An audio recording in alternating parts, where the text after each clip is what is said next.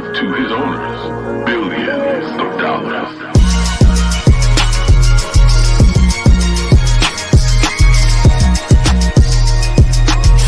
to the paper like it's human nature. Goddamn, no more they haters, that just motivators. I know revenge tastes the sweetest, mm-mm, gon' save us. I'm just sending all my graces up to my creator. No negotiation, this is world domination. You can't fill the trophy cases up with nominations. You can't afford to miss a layup when you win the playoffs. Uh, stress, So Leinster are still champions because they finished top of the table. That's oh, oh, we're live. Okay, yeah.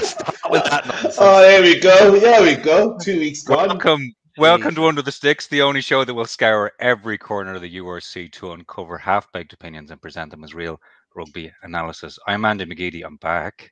I'm back. Joining me tonight, Lion Shark Stormers Centre, Blitzboks captain, and Springbok International, that's super sport analyst, Gcobani Bobo. How are you? Oh, I'm well. I'm well. Uh, after being blessed with uh, with the final down in Cape Town, decided to stay over for the rest of the week.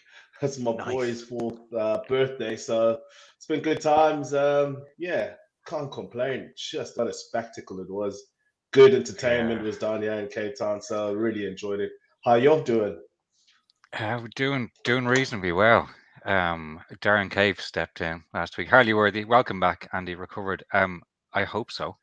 I hope so. Uh, vertigo is not fun.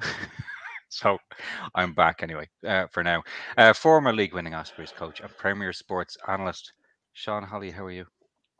I'm good, and thanks. Good to see you back. Um, it's nice to know somebody cares, Harley Worthy, because nobody on Under the Sticks really cares. No, um, no one um, asked, really, did they? No. No one, no one asked. No one, nobody was bothered. In fact, ratings have never been so high as in the last two episodes. I was waiting for him to get that in. It's tough love tough love in the uh, under the sticks parish. Um, and finally, that final voice, the high priest of rugby Twitter, and author of official nonsense, the one and only Paul Williams. How are you? Very well. How are you, gentlemen? I'm looking forward to this. There's it's been a bit of chat good. on the WhatsApp group. There has. Um, we're live on the official United Rugby Championship YouTube and Facebook platform. So if you're new to the show, then remember you can pop your questions into the comments or tweet us at under the sticks with an X. Some of the regulars already in. Ian Gilbert, hi from Madrid. Brave Star, hi from Cape Town. Good place to be. Um, there's uh, Brave Star. We we were late, a little late, uh, and we won't blame the sleep deprived producers because they're doing a wonderful job and we look forward to coming back next season already. Isn't that right, lads? Um, right, we're going to run through some. Uh, I, have taken notes. I've taken names. I've taken notes for the last two weeks. So uh, I went back and looked at your predictions, not just from you three, also from the viewers. So we'll go through some of those. Uh, grand final chat. We'll look back at what was a as a neutral. I thought it was a terrific game. It was Wicked. really, really engrossing game. Uh, physicality was enormous. It was just great to watch. Um, Sean has been doing a little bit of analyst eye job, so we'll have a look at the videos that he has put together. Um, there's been an announcement about Leinster player Nick McCarthy today. Uh, we'll get to that later on because uh, it's we're in an interesting time when it comes to uh, people being there, bringing them full selves to the rugby pitch. And Nick McCarthy is the is someone who's done that today. Um, there might or might not be challenge Andy, depending on if I'm still um, standing at the rest of this. And then we'll go through the best viewer comments and questions from the show. Uh, so, gents, um, first, Bobes, you were in, you were there, you were there yeah. doing doing your work. Uh, it looked like a really, really good atmosphere. Oh, well, I, I spoke to Jake White as he was coming on um, with, the, with his team, and he was just saying on the way from the from the airport, there was just so many flags, and there was that same animosity from back in the day, the North versus South Derby. People were were baying for blood, seeing the Bulls bus going past them, and and he just got those goosebumps. It, he says he took him back to when he was about ten or twelve, and so the atmosphere, which was electric, and there was a lot of uh, animosity in there. There was a whole lot of um, Stormers fans just really gunning for the Bulls, and and and it was it was so exciting because for me, what I saw when I was out there, uh, the crowd was much more youthful. It was a younger crowd. It felt like as if, I mean, we were just talking off offline here. It felt like as if we're in a club. It's just like such youthful energy and and it just shows how much um, the the URC has sort of picked on the imagination of the of the of the young fans of rugby, uh, and the South Africans really took onto it. It was unbelievable atmosphere. I mean, the dancers were out there. Darren Cave loved the loved it again. Could not get over all those Stormers fans and, and the dancers. And um, yeah, I, I just I just thought it was it was so exciting because I, I did the British Irish Lions in the airy, quiet stadium. Yeah, and then to see yeah. 31,000 was just something else. And I was and really 31,000. 31,000 that yeah. sounded like that sounded like 50 genuinely coming across yeah, uh, through the speakers. Um, yeah, we're gonna 31,000. Joe, we're going to do because our commenters are brilliant. Um, so Croher Daniel Dahi O'Cahill. Oh my God. Let's start with an Andy's challenge for Gcobani. The longest town name in Wales. Go. I've I've seen this one on the news. I've seen it in the news. It's like like like pretty good. You know That's pretty good, actually. You got the plan right on. I can't even say that. I am I am very very impressed. Um, right while you're all la- while you're all laughing, I'm going to go in. We haven't started talking about the game yet, so it's a good time to go into the predictions. Right. So here we go. Sean, Gcobani, and uh, Darren Cave you all went for the Stormers. Um, Paul, you mm. gave the kiss of death. You surprised me. Did I get it wrong? no way. Now, so here's the here's some of the commentaries. Grant Grant Sports had uh, the Stormers by ten. LB Stormers by eight. Uh, Lewis had Stormers 25-23. Um, so Ooh. you're all on the right side of things now. A lot of people went for the Bulls. Vaftus Lersfeld, Bulls by two. Sean went for the Bulls by three. Ockhart, Bulls by seven. Another uh, Joe went Bulls by seven. And Anro Russo, Bulls by 20. Really? Now, the first 40, the first 40 was very, very big um, Bulls. Um, yes, Ollie Hughes. Uh, Paul with a wrong no. prediction is, is shocking but it's actually it's not luck. It's more like he has magical power. Yeah, it's like um, dark matter. You know that stuff that he can't quite see up in space. I've got that. it really is. But the first the the first half was it was an interesting game because um yeah. again it well the one thing I'll jump into something about not even the performance yet. The pitch yeah. really looked as if it was cutting up. And um, what was it like at at ground level, both? Oh, definitely was. Um, I think they're going to roll it up and they're going to put a new sort of cover onto it, trying to mix up like a, a much more hybrid so that it can connect. It's mostly a, a, a football pitch. Uh, I don't think it could take the 900 kilograms, thousands actually, of kilograms from between the two sides and just the traction and everything. So that was quite interesting. Um, but um, the, the it was starting to cut up, and it was it was very dewy and, and very clay sort of type of pitch. Um, I thought that the Bulls sort of handled that very well because that nullified the Stormers' strength of the scrums. They start, Paul. I mean, you're coming from my sort of. Uh, we have a different rugby background than the other two gentlemen in that we rugby, don't have one. I, t- I tell you the difference. We are um, pathetic nerds. Yes. And they are rugby achievers. Now, That's, this you know, the the first half, it started off with just enormous physicality. It's like all balls. Yeah, like w- when you're sitting back at home, what did it look like to you? It, it was a complete shutdown. Other than uh, Deon Fourie in the first half, who was the Stormers in the first forty minutes, it was a complete shutdown. And at halftime, I, I thought my prediction was going to be right. And the, the, the, what you say about the pitch is entirely correct. It looked like cress on top of yogurt on TV. you know, can you imagine those salt and and they were box kicks. You know, but you don't often see scrum halves hit the floor box kicking because they lose their, their foot underneath. I think there were four or five. Don't you know? Don't get me wrong. I don't like box kicks, and when they go wrong, I'm quite happy. But in a final, you want box kicks to be executed as they're meant to be, and um, they weren't quite. But yeah, the first half it was just a complete shutdown, and then the second half was entirely different. It was really unusual, but brilliant. Yeah, Sean, they had the Bulls got the points on the board early. Um, in you know, it was a good Bulls try. Grobbelaar did brilliant work again, um, creating the space. Uh, when we saw Libbok stand over that kick just before half time, it looked as if the Stormers would be very happy going in at that scoreline. Yeah, uh, Llanfair, Pwrth Gwyn, Gillgo, Gerich, hwn drobo, Llanfasilio, go, go, go. Nothing he can't do. He's the ultimate alpha. Oh, he's amazing. But um, I tell you what it was. It was Jake White's game plan again, as we saw in the semi-final, coming to fruition. Um, they got the penalties, they kicked into the corner, and their their maul in that first half was devastating. You must have been thinking, you know, wow, if this is the conditions of the pitch, uh, if the rain comes again, and they get penalties to kick in the corner, they're going to just dominate them. I mean, the first the first maul of the game set the tone, and then Grobbelaar did superbly to counteract the speed of the second maul for the first try for their try. Uh, his offload, by the way, was was fantastic. That was a, a, a brilliant straight off the training field. Something they talked about attacking the Stormers, and then you thought, you know what? They're not getting back in. And then Libbok missed the missed the penalty, didn't he?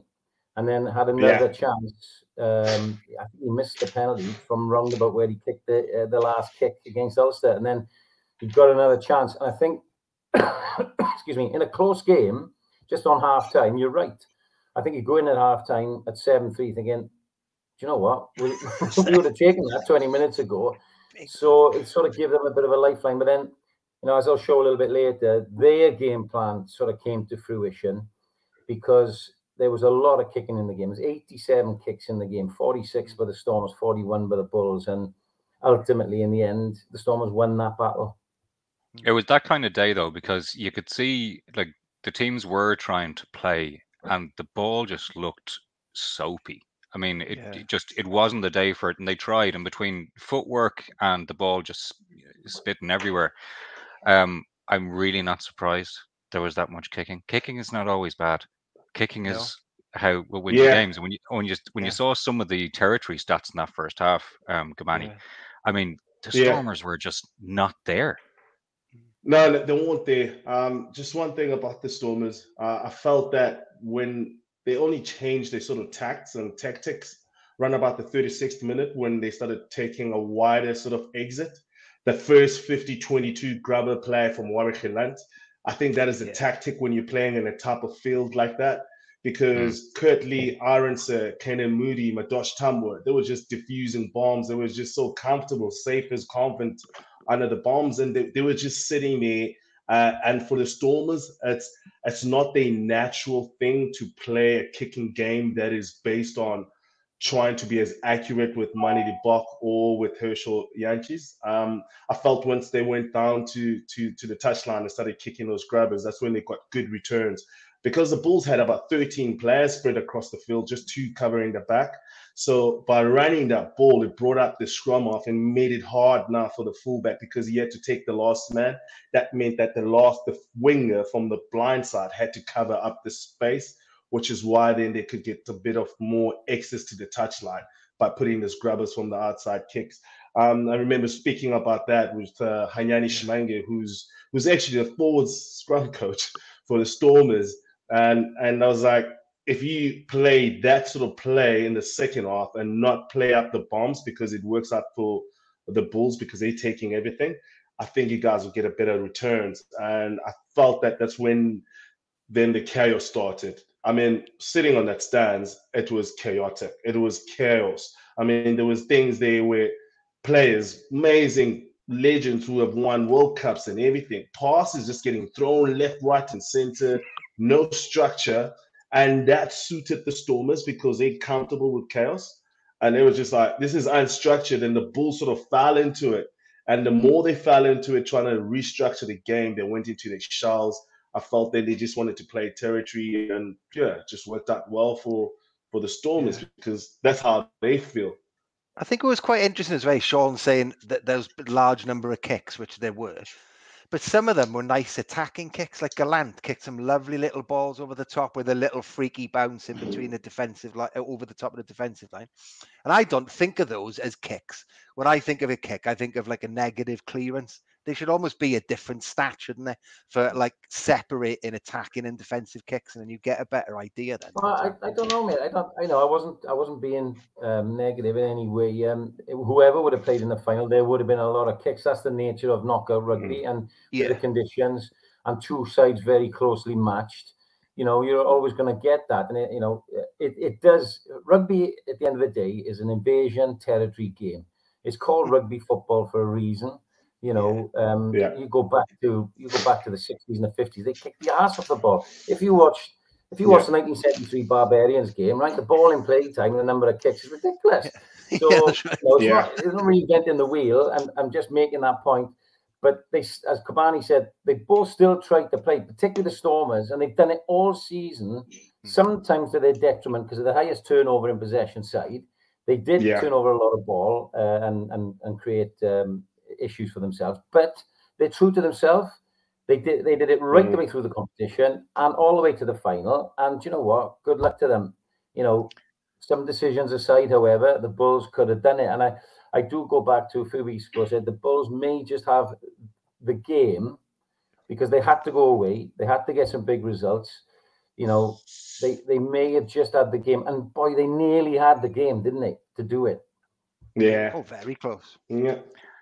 Joanne Beer, watching from the northern hemisphere, it was definitely scrappy, but what a game all the same. That that's that's what I felt looking at it. And um, going back to when you see it turn into chaos, uh, part of me really likes when it turns into chaos. It's like watching um, a golf major when the weather really, really kicks in, and you're like, I I could do that. I could shank like Yeah. that. Uh, Harley Worthy. Harley Worthy says that pitch was holding up as well as me during my PhD thesis write up. Um, incredible. I salute the humble brag. Also, well done, Harley. Um, Jacqueline October, hi from Germany, Stormers, South African fan base in Germany. Nice. Um, Germany. so we, so we got to half, we got to half time there, uh, but it was still 42 minutes in, 10-3 Bulls, uh, 44 minutes. Evan Roos gets involved. Um, Sean, do, is it time to have a look at some of your uh, take? Do you want to have a look at the Stormers a chair tries? around the Holley's hearth. I'd and rather excuse me. I'd rather go Bless into the you. outside now because um, it does involve uh, the tries. So my first clips are are the turnovers. Deon Fourie was player of the match for a reason. Very crucial interventions.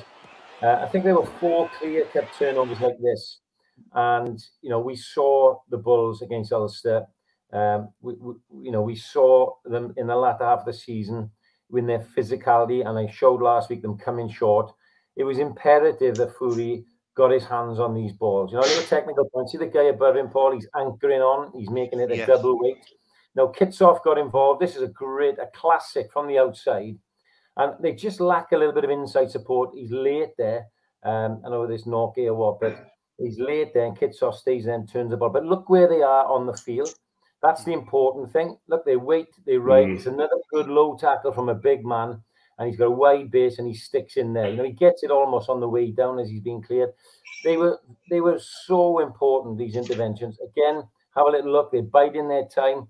They would have talked about this. They would have talked about the need in their own 22 to get a couple of turnovers. And you know, as the Bulls have grown in in the season, because we've seen Kutsia and Kitshoff and Fourie, you know, at the latter half of the season getting these turnovers, they they've grown in, into the URC really well and picked their moments because in the first half of the season, Gcobani will agree with me, they found Yeah. the field.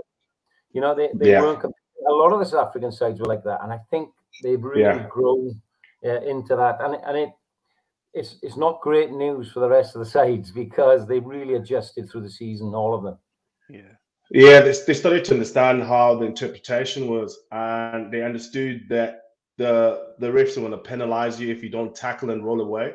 So then the players, what they done now was that they made chop tackles, and the easy exit was passed through the legs instead of going through to the head, because in that way you're in the way of the cleaner. But what, what that does, it actually opens up the opportunity for the jackler to get into the ball.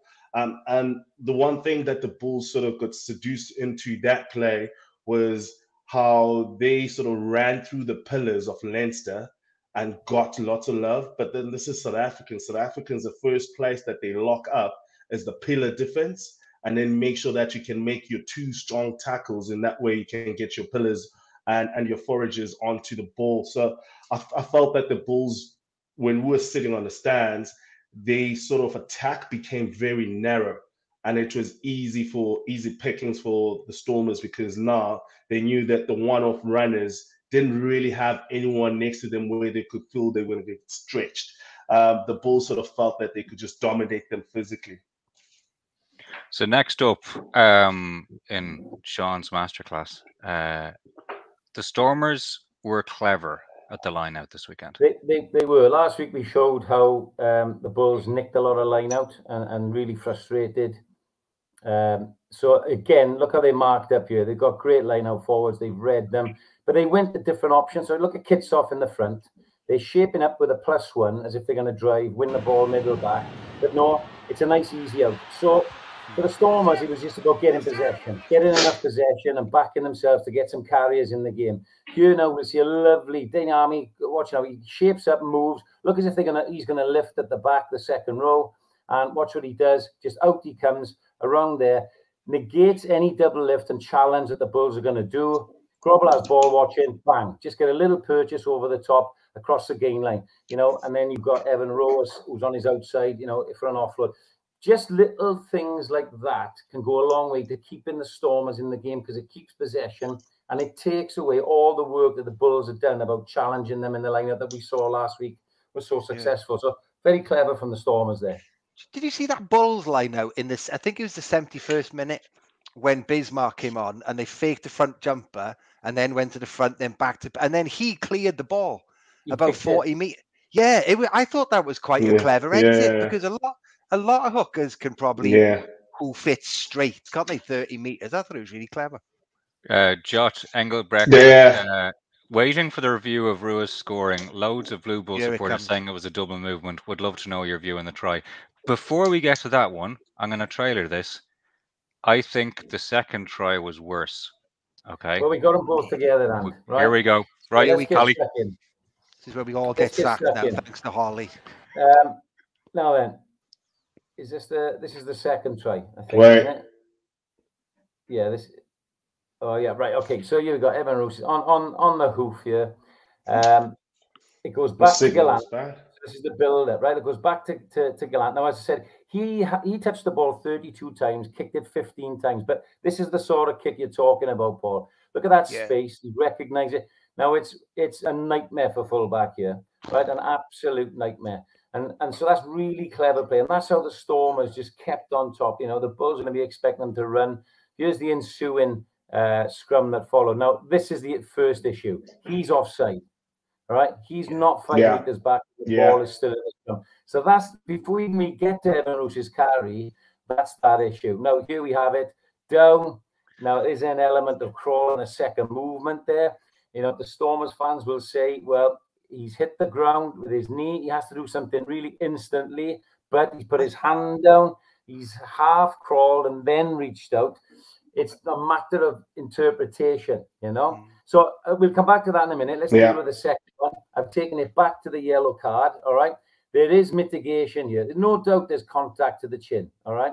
But there's mitigation yeah. because falling from the first tackle. I I I felt that a penalty might be enough, right? But irrespective, yeah. Brace has made the decision. And this is what I want to show you. He's five meters in Libbok here, right? And he's done this all season. There's a charge down or a jumper in front of him because they know he nails that five meters. You know, yeah. How many out how many out that would have gone seven, eight, ten meters and settled? No, they've gone there. And and again here now, it's a lovely little play. They've gone basic option. They don't want to have a compete, but this is the issue for me here now, right? Law 16, more law 7b. You must bind on the guy, the hindmost player there. Now he does not. Watch where he binds. Look at Andrew Brace's. He binds in front of the hindmost player. That is a penalty all day long in front of the referee. And, can, we, can we can we wind it back, Sean? Because if you, it's even more than that. He binds onto an opponent, like he binds. Uh, he, yeah. It's it's a clear out. Yeah. It's yeah. it's it's extraordinary, and it's something which it's it's a pet peeve of mine because, you know, we see so many hookers uh, leading the scoring charts now. Okay, and Mm, doing you know si- silly amounts of tries, and it's because they they sit back, they've got the ride in, they sit at the back, and people join in front of them all Well, the time. It's in front of the ref as well, and that's the, that's the thing for me. You know, he doesn't Yeah, bind on a and he doesn't bang with the, the, the guy. And and some malls you can't work out who's at whose last feet. It's Yeah. clear who's the hindmost player there, and he Yeah. doesn't bind on him, and it's in front of the referee. Mm. So the Bulls supporters can feel a little aggrieved on both tries, possibly the yellow card. Although I'm not surprised it was a, it was a yellow. Can Yes, we have a Maurice little Thomas. mention? Oh, sorry, for Andrew Hugo, Vent, Hugo Venter, though, who's 20 years old, came on. That was his first line out. Nailed it in a final and scored. You know, I couldn't be, dial a phone when I was 20, let alone come on there and do that. I thought it was. Inc- I thought that was worthy You of never throw mentioning. it five meters, mate. Come on. Yeah, but you know the nerves of that, though. I think I think that's quite impressive. There's a couple of 20 years old. comments um, up there about the uh, just stick them up there again, lads. Um, the Sam Laycock. Um, I've certainly I got sent this uh, separately as well. The Bulls hard done by the yellow. The player was bent at the knees, hinged at the hips, and wrapping his arm. Rugby incident play on. Mm. There is one perspective that's important from that. They were starting from red card. Okay, Yes. you can't mitigate Mm. two stages if you start from red card, which given it was with force to the head, that is where they had to start from. So getting to yellow was good. If it was Super Rugby, they might have given him a prize and checked had he hurt the player's head. You know, it's like, is your shoulder okay? but you a Because they just, yeah, it's but crazy. I, s- but I saw the same tackle that happened in the Blues against the Crusaders, and it was actually just a penalty. I, I think it Yeah. was Tuanga Fasi, and it was exactly the same thing. Mitigating factors. Player was already in the tackle, lower, and they actually just went that that the, he dipped in his in his uh, at his on his Yeah. hips. There was nothing the player could have done as a tackler. Um, so for, for me, we still have to really, I think, sort of, I could say that the laws could actually damage the game. We need to really officiate the game a bit better so that everyone could sing on the same hymn sheet. Talking about Andre Hugo Venter, it was so good to see his dad. He was at the stadium um, on his wheelchair, sitting up up the stairs, and and I remember after he they, they won and he had these his medal with him. The only thing that Andre wanted to do was to get to his dad, and I thought that was such a touching moment. Yeah, that's that's um yeah, it's bigger than rugby. Um now, so are we we're okay on we, we're generally in agreement that Bulls you've got a little bit to, you know, it, the tries on another day they don't get given. Uh yellow card, I'd flip a coin over that. I can see why, you know, you you can argue both sides of it. Uh but there was still time left in the game. And I was a little. I, I really thought there was more in the Bulls. Um, Gcobani, the one the one thing you can't get from watching it on TV is how it felt. Yeah, Because Sometimes there's a. I, I hesitate to use the word momentum or emotion, but you can kind of feel sometimes in a match when things swing. Um, do you know what I mean by that? yeah. Yeah, there's there's huge momentum swing. Uh, the momentum swing, especially when the yellow card is to see the the Bulls players being deflated. Uh, you could pick up that all of a sudden they felt that they were chasing the game. The Stormers started picking up their tails. Um, but still, with the Stormers, the way that they play, with everything to play, very daring, lot of audacity. I mean, they had the game in the bag with two minutes to go. They were still throwing in quick lineouts from their own half Yeah. uh, and just making these decisions that were just. I was thinking. I mean, I saw uh, John Dobson with two minutes to go walking down the tunnel. He didn't want to see it because he didn't know what his players were going to do. That's how much it's it's that's how much these players just play out of hand. They just do whatever they want to do and they lead and they live and die by their sword. Um, I just felt it was too chaotic, and I still felt that the Bulls could do it. Um, just they could not get a breaks from from Kurt-Lee Arendse. The, the, the Stormers defense, they scramble is something that they live off. It's it's almost like we don't mind making mistakes. We don't mind being uncomfortable. We prefer to be uncomfortable because that gets us all into the game because that's where everyone sort of sort of pulls weight and they get involved. And It, it was very strange. I, I sort of watched this game. Promise you, I was laughing the whole game because of the decisions that were made by these players. And I'm Yeah. sitting back, I'm thinking, who wants to be a coach? This is this is crazy. These these players will kill you. You will have a heart attack because Mm. decisions the guys were making so irresponsible. But at the end, it turned to work for them. Uh, It's it's been the Stormers side that's been playing like this the whole time. You think when they needed a bonus point just to get a home final against the Scarlet, those long passes in that weather under that pressure, and you think about Manny Bok doing exactly the same thing against Ulster, throws a long pass. I'm thinking to myself, this is the best time to intercept the ball, right? And he Yeah. goes for that long pass, he sticks it into the gut, and they score the try, and he's got a long kick. And I'm thinking to myself, he's been kicking at 43% the whole year. but he nails that one. So it's almost like clutch and clutch and unclutch. Do you know one thing I did notice that did go against the Bulls is that the Sean will know more about this because he'd have been through these stats accurately. But the Stormers only conceded five penalties, which is really low, isn't it? Particularly in a game like that. I think the Bulls were up near ten. So the Bulls didn't have any many easy kicks at goal, did they? To rack up threes, you know, which you'd have, you know, early on you'd have thought that would have been something they'd have leaned on the Bulls, but it, they didn't get many chances to accumulate easy points. Well, that's where the kicking game comes in, mate. So sometimes you're better off without the ball. And Yeah. the Stormers have been good in recognizing, particularly in the latter stages, when they need to play uh, and when they don't. So if they haven't got the ball and they don't overly contest at the breakdown, they're not going to give that many penalties away.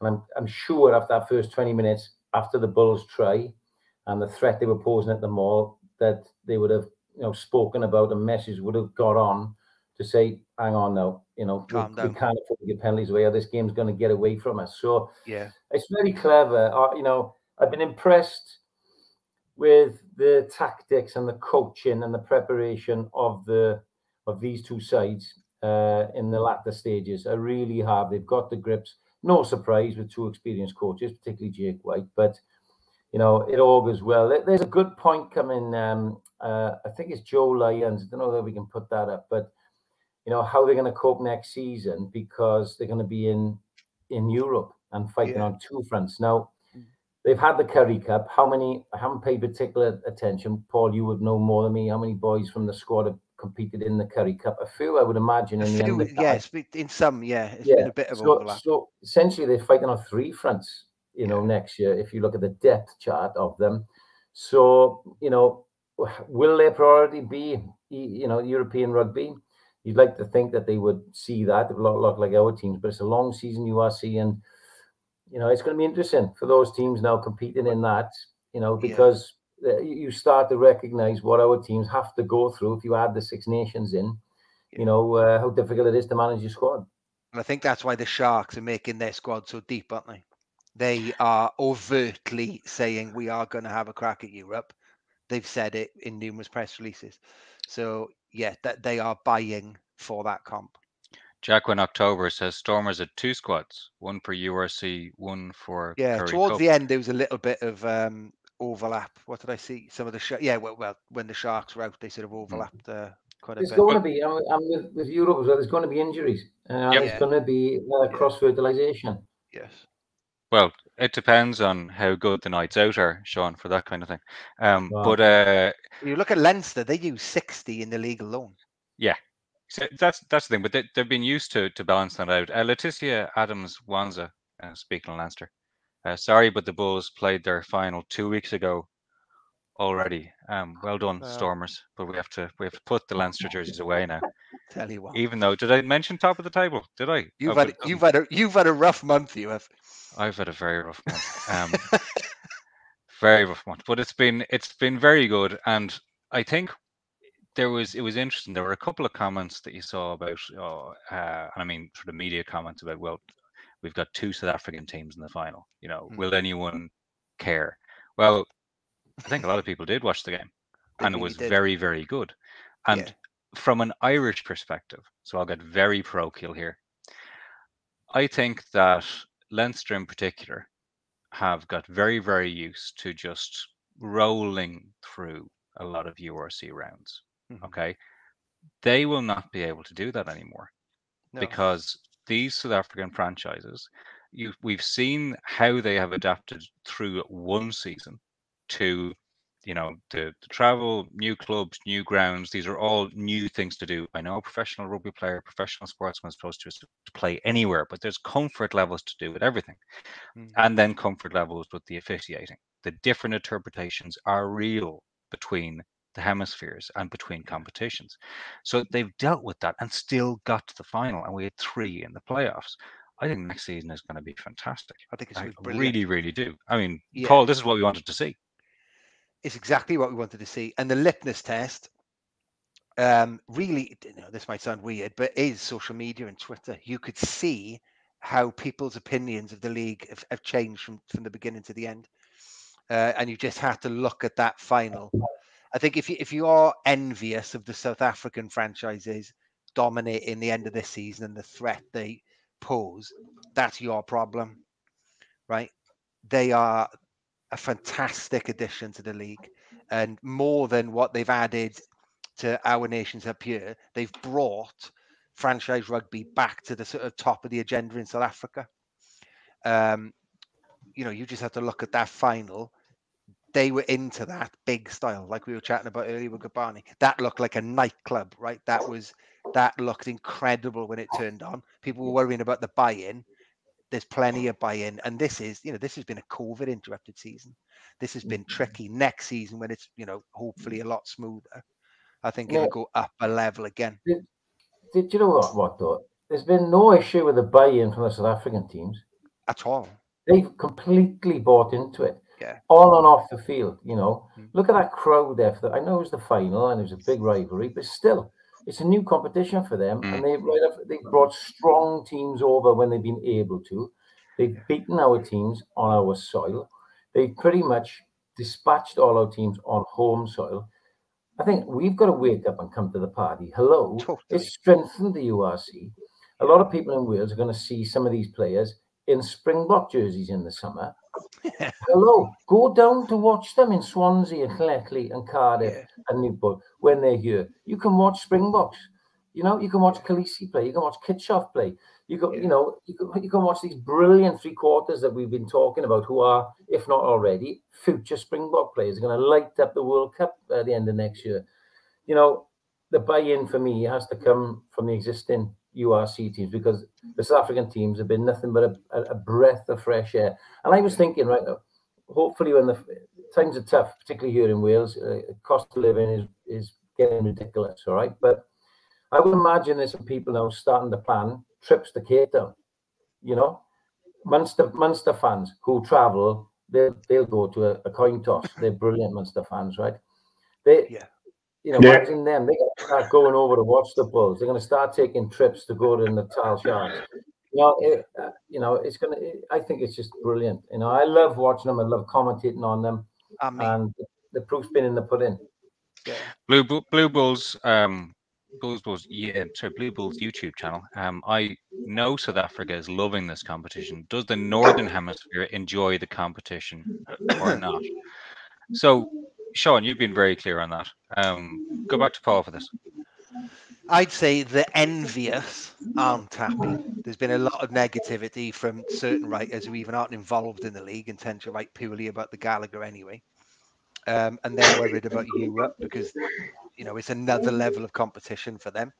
But if you're interested in rugby and you want to see a really good product, this has been fantastic. It's taken it up 40%, I would say, adding these guys in. It's been, it's been tremendous. And if you look at the reaction of South African fans on Twitter and social media, they felt like a bit of a spare part in Super Rugby, right? They were always an outlier. They were always too far away from Australia and New Zealand. And it felt like, you know, they were taken for granted, I would say, even though they had most eyeballs on the TVs compared, you know, to New Zealand and Australia.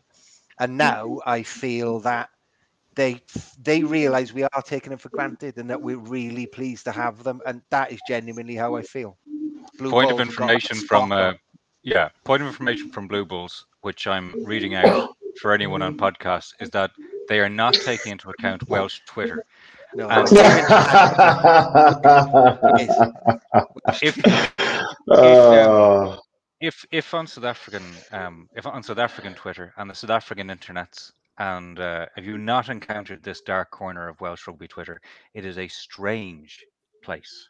Even if you're Welsh, You could clean an engine in some parts of Welsh Twitter. It's that acidic. it's very very odd. Um, there's some Well, more I- comments coming I out here. think Um, I treat it a bit like um, a nightclub in Swansea. I only go there if I really have to go there. There's nowhere Um, else. To go. It's like Barons. Bar- It's- Drew's Barons will be there all the time. It's a very strange place. LB niche says um, 1990s joke. Sorry, Andy. LB says there's plenty of buy-in because the rankings change every week. We have had a lot of that, which is good. Uh, Dummy and Yeah. Gwenya love the URC. Good. go. Some might say it's best league. I'll just leave that there. Um, there's a few. Yeah, let's let's we'll roll through a couple more comments because we're getting towards the the the Yeah. the where I need to sort of um, string this out a lot so we could not do challenge Andy. Um, Morrissey Baz, say what you like, but Libbok, Gelant, and Jantjies control that second half brilliantly with that game management. Gcobani, Yeah, no, the, the, those those lads were just so comfortable in that play. Um, and it, it was uh, it, it was interesting because you could not see any panic in their faces. They they they'll make a mistake and all of a sudden they'll just go, "Let's go, let's go," and and they were so in it. Um, Damian Willemse was for me the sort of like the leader amongst the backs and, and amongst the men. The the way that he carried, the way that to him it was it was all feeling. You could see the emotion on the player. Um, it was interesting just talking to him before the game and how much he was ready. Uh, he, he he was really humming. Just he could not wait to get his hands onto the ball. He could not wait to play off. That's why sometimes they force those little passes because the lines that they're running off each other are good. It's just a matter of having to make sure the accuracy of them, um, just the weighted sometimes. I just felt sometimes they're not sympathetic enough with their passes. But um, for me, um, a guy like uh, Jantjies, if you think about Jantjies, he's played 80 minutes for the last, for the whole playoffs. Mhm. 80 minutes for the last playoffs because he never swapped. They didn't have a scrum half changing him, and, and he kept his cool.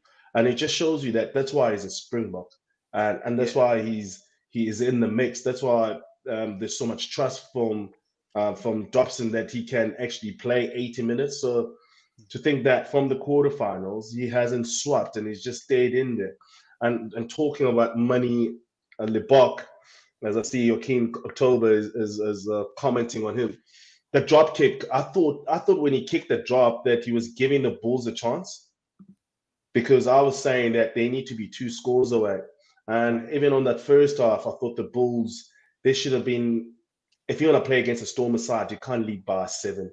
You have to lead by 15. You have to make sure that they score two tries for, for them to get, if you want to get away from them. So for me, I, I, I was like, oh, he's just pulling them back into the game. But then I guess scoreboard pressure, understanding that it's a final, uh, you make the Bulls to be desperate to chase a converted try to win the game. So uh, have a special hat tip as well for Williams, uh, who seemed to injure a different part of his body every five minutes and still played on. He was incredible. He was like a baddie from a horror film. You thought he's down, and then he just no, I'm coming. But he was, I was really, really impressed with him. Because two weeks ago we thought he was out for the rest of the season, and then the next Yeah. thing, you know, he's arguably he's man of the match in one and could have been man of match in the in the final as well. Jesse uh, Arias. Now we know even more players from the Northern Hemisphere and not just the Test players. This is Exactly. such an important point, and it's something Yeah. which which you will have Yeah. seen because the URC is a kind of a chunky league. We ref- we sort of Mm. referred to it a little bit at the start, but it's got blocks of games. Mhm. And you'll see in different blocks, sometimes you'll see the next generation of players being rolled out Mm. 19 year olds, 20 year olds, 21 year olds. And you see you see these guys and we'll see them in international jerseys, some soon, some in four years. But Mm. it's brilliant when you see these guys um and in, in the right cla- and you know what? It it turns both ways as well. Because for me, It- as a. Northern Hemisphere fan, I'm Yeah. seeing exciting South African talent Yeah. that isn't yet in a Springbok jersey, and I'm loving point. it. You only got to look, look at that Springbok squad for the summer, you know, and a lot of Mm. it's form. You know, Jesse mentioned earlier, we only knew uh, Alun Wyn Jones from the Ospreys. Well, Stefan Terblanche played at the Ospreys. Ricky Yeah. Januarie played. Stefan Watermeyer. You know, there was three strong South African guys who came to the Ospreys. They, you know, there's an And Gary interest- Teichmann. Gary Teichmann Yeah. at the Dragons. You know, Dragons, yeah. so Percy Montgomery. Montgomery, mm. Dragons. So yeah, absolutely, and, and that's good news. It gets us on the on the wider stage, and, and and I think there'll be. Well, you tell me, Gcobani, there'll be a little bit more interest now with the Welsh tour because they will have seen these guys playing in the URC. Yeah, and, and they want to see if, if that um, the, the sort of South African performance of the franchises does it transfer into the international stage.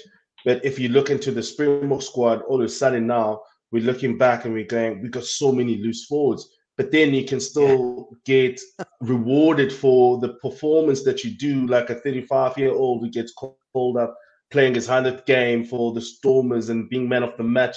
Deon Fourie gets called into the squad because he can cover you at hooker, he can cover you to a flanker. And with the knowledge that Rassie Erasmus, Jacques Nienaber worked with them at the Stormers whilst we were still playing in about 2008 and 10, so they understand what they have in the character. They've seen how much he has bought. They sort of bought into to looking after the youngsters at the Stormers and, and leading by example and being a professional pro. I think what's going to help with um, with our standards in South Africa is that we got about 250 players playing over in Europe. All of a sudden now they're going to have an opportunity to come back and play for the kind for their franchises in the South African franchise with the same exposure that they're getting over there. Or maybe you'll be playing in Pro D2 where no one sees you, and now you think to yourself you can bolster a team like the Cheetahs and play in the Challenge Cup. You can you can come back and and and, and give the lions much more depth. Uh, and now it's becoming quite a a product that that suits the south africans because it suits our time slots. It suits Yeah. when we watch rugby when we sort of want to engage and socialize with the people at the right times. And and and for me the the the tutoriology that sort of happens about how to play rugby for the South Africans because it's not here and scarum of just run around and it's dry fields. Now you have to think about game management. Now our players are starting to learn a few things that how to control the game, how to shut the game down, how to run phase plays. Now we're starting to think about the game holistically, and that gives us a big chance because now we're exposed to the game uh, in, in the northern hemisphere, how to deal with conditions. I mean, that's that's how you win World Cups. I, Yeah, I was just going to say, I- I'm not sure we've thought this through because are we going to make the World Cup champions better? I'm not No. sure I'm happy with that. No. That It that is. not- more It is really because all of a sudden now, you know, in South Africa, everything is quite physical, but sometimes there's a tendency to just we just play into our own sort of feel, and we don't really understand why is an Alun Wyn Jones a legend that he is. Why is Jac Morgan someone to to respect and revere because he can pinch your ball, and why is pinching a ball a difficult thing? So all of a sudden we're starting to learn a few of those things. I mean, I've just loved how this team's evolved throughout the season. To think that the Storm was unbeaten for 11 games in a row, I mean, that's unheard of. Incredible. With the way that they play rugby, I mean, do you Yeah. think how many mistakes, how they float in and out of the game. 11 Yeah, games. Um, I mean, it's, it's it's interesting, right? I, I, October again going about Hacjivah Dayimani. I mean, a player like Hacjivah Dayimani never was given a shot at the Lions. They said he's too small to play in the loose forwards. Have you seen how brilliant. comfortable he is using his feet in the middle of everything? All of a sudden, Yeah. everyone is seeing his value. Although he's on a he's on a big stag do at the moment because he's just wearing his jersey. He hasn't taken off his kit, and I think it's, Oh, uh, it's a Monday. He's on the lash, uh, which is which is good on him because this dream was taken away from him, Yeah. Mm. and now he's walking around with his medal and his jersey on, showing how how proud it is, and that's what the URC has given. It's given dreams to youngsters. It's given dreams to to the, even the medal givers. I mean, for Yeah, those kids, That was that was a great touch. Yeah, that was really remember that moment. I mean, your hero kneeling down for you for you to knight him. I mean, just Really you being that what person. So I think this is gonna bring a whole lot, and and, and I'm so excited. And I think a lot of South Africans are excited about it. Ryan Cheeseman, uh, I think the URC is way more entertaining than Super Rugby ever was. Well, that that's fighting talk now, and we'll only we've only been involved in one season so far. Um, and Tierney Stander, just let all say thank you to URC to add South African teams. Hopefully, all sides nationally and internationally can benefit from this and produce brilliant yeah. rugby. Yeah, future. Hear, hear. totally. Yeah, The producers have been rolling through a load of um, comments, many of them congratulating the Stormers. Um, it's going to be terrifying when the Stormers learn to play sort of really, really, really safe rugby at the same time. Yeah, and they keep the Um, error count under 42. I know. I know. I, I'm I'm rethinking this entire URC idea, lad. It's not going well. Um, there was another bit of news today which we we thought it was important to spend time on. So well done to the Stormers. Well done to all the teams during the season. But there's a lot of things about having a successful team, and one of them is creating an environment where people can be their best selves. And today, uh, Leinster scrum half Nick McCarthy um, announced that he is gay, and he's very happy with that. He hasn't actually known or confirmed to himself that he was gay until maybe this time last year, and he talked it through with his coaches, and he talked through with um, the playing group in in January, and they stood up and cheered him. And I think it's it's a tremendous thing. It's the women's game has been going through this for longer than the men's game has, and maybe the women's game has actually forged the path and made it easier for men's players to come out, whether they are comfortable. You know, there's no forcing someone. That's not what we're talking about. Um, but it's interesting that was in Leinster because Jack Dunn is now after Exeter. He uh, revealed that he was bisexual earlier this season as well. So that's two players in that same players group. Um, really good. it is good, Paul. I mean, it's it's we've seen it. There's now there's a couple of soccer players around the place who are doing the same thing. You know, in different sports, and sports are different, and it can often be seen as a highly masculine place, and masculine Mm. sometimes in the worst way. But Paul, from the from the sidelines, Yeah. this is kind of what we want to see. Yeah, and I think the the really positive thing is the reaction to it. You know, when Gareth Thomas came out, it was almost like a witch hunt, and he was forced out. And as soon as we found out, it was like, oh, you know, alert the church elders. We can't have a gay man in rugby. Whereas today, it's been a bit more like, oh, is he? Right. It's not such a. It's not a big deal. So it was, you know, oh, you know, well done, congratulate. That's fantastic, and it moved on immediately. And that it isn't such a big news story is a really positive thing for me um because that's what you want you want it to be a non-issue and but having said that of course you you do need more and more players to come out and i think today's announcement we, you'll see more and more of this over the seasons now and it won't even become an announcement that'll become part of rugby culture from the outset you know it won't be something that you reveal in your sort of mid 20s that'll hopefully be something that's accepted when you get into rugby or whatever age that might be Well, So we, it- we yeah, don't want to lose brilliant. players. We don't want to Yeah. lose players to the game, do we? well there's You another know, thing yeah You know, uh, officials as well. Nigel Owens, let's not forget. You know, um, there we go a, a, a national treasure in Wales, the best referee in world rugby at one point, and uh, a tremendous ambassador.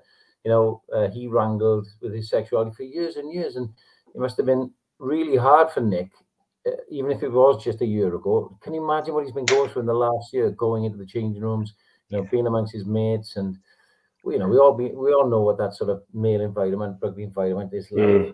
Um, but people like Nick and, and Jack Dunn come out, and uh, Nigel and Gareth Thomas, and then it makes that a little bit easier, doesn't it? So yeah totally it- it- times are different now. So when we when I laced my boots up in the in the late seventies, early eighties in school, you know, you never heard of anybody being No. gay, let alone coming out being gay. Sure. Especially in a in a in a male sport like rugby or soccer or on the male teams. Now, you know, it is a, a huge part of society. So well done to him and well Yeah, done absolutely. to Leinster, all at Leinster for embracing it as well. Yeah, and Yeah. just just to add my bits here, It's just that this game is, is a game that has given a lot of people a sense of belonging.